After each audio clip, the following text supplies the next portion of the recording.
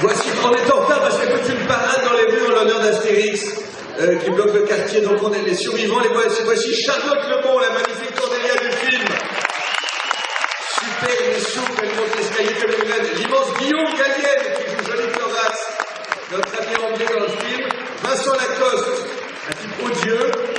Et le producteur Marc, Marc Missonnier que je vous laisse. euh, qui- Et moi je m'appelle Edouard Vert, je joue le, le rôle d'Astérix avec des moustaches. Voici maintenant.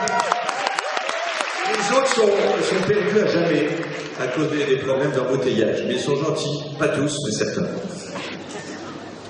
Bah, merci, merci d'être là. Euh, oui, on s'excuse pour les autres comédiens qui sont bloqués dans, dans les embouteillages. Voilà, donc excusez-nous euh, pour, euh, pour eux. Voilà, excusez-les et euh, on espère néanmoins que vous avez passé un excellent moment en compagnie de, de nos amis.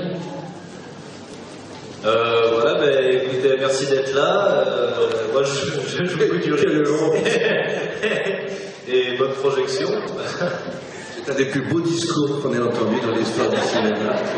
C'est ça. Vincent Lacoste, il a son bac.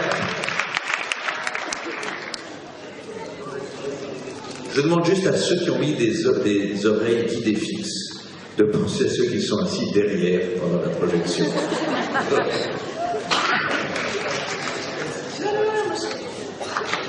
Très intéressant à dire, à part que je vous ordonne d'aimer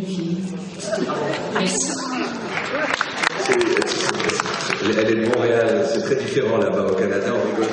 Les gens sont obligés de faire des choses. Voilà, et ben, écoutez, bonne projection. J'espère que vous prendrez autant de plaisir évidemment que nous on en a eu à faire ce film. Euh, et euh, le réalisateur n'est pas là, mais je sais qu'il pense très fort à nous. Et, et ce film est très à l'image de son univers et celui d'Astérix. Vous verrez. Voilà, il est signé Laurent Tirard en tout cas. Bonne projection. Merci, voilà, et Gérard Depardieu vous embrasse, il est allé, manger des sangliers, je crois, comme souvent le dimanche soir. Merci d'être venu, au revoir. «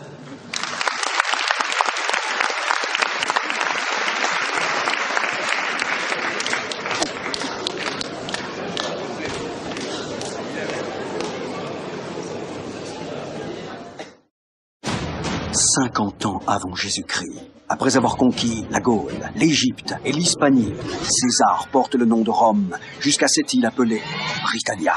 Incroyable. Moi, je crois bien que j'ai la cote avec les dieux. hein. Je me demande si nous pourrons résister éternellement. Il existe pourtant un village qui a réussi cet exploit. Bon, euh, goût du riz, c'est le matin, on se lève tôt à la campagne. Ouais, ben moi, je viens de Lutèce. Et à Lutèce, c'est l'heure à laquelle on se couche. Alors maintenant, foutez-moi la paix, les blaireaux. Je vous présente Johnny Thorax. Enchanté, secouons-nous la main.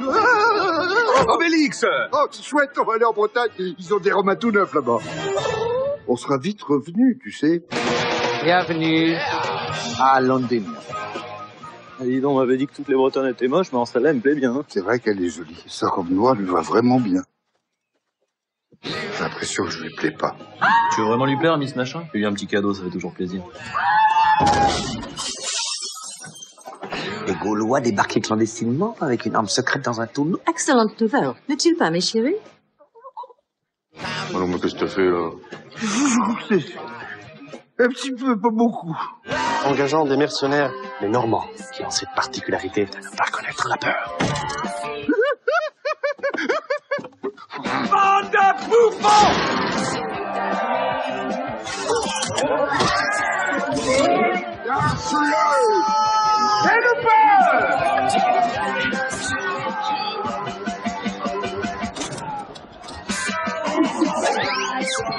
C'est une bonne situation, bourreau.